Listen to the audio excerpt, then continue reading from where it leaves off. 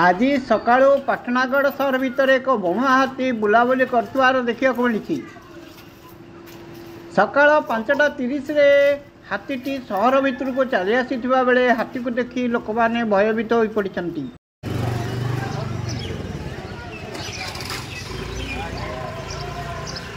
ଏ ଆଶିଷ ତୁ ଦାଲା ବେଳେ କେହି ଯାଉନ କାଁ କରୁଥିଲି ଇଆଡ଼େ ବୁଡ଼ୁଥିଲେ え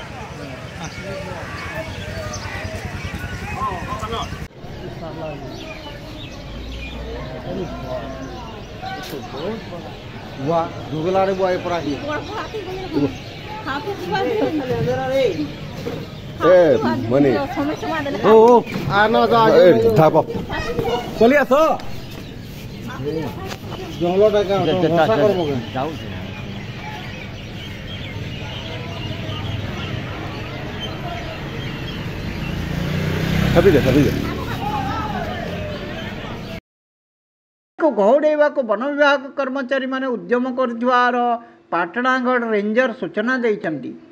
ଖାଦ୍ୟ ପାଇଁ ଖା- ଖାଦ୍ୟ ପାଇଁ ହାତୀମାନେ ଗାଁ ମୁହାଁ ହେଉଥିବା ଅନୁମାନ କରାଯାଉଛି। ପାଟଣାଗଡ଼ ପା- ପାଟଣାଗଡ଼ରୁ ଲଳିତ ମଲ୍ଲିକଙ୍କ ରିପୋର୍ଟ ନାଗରାଜ ନ୍ୟୁଜ୍।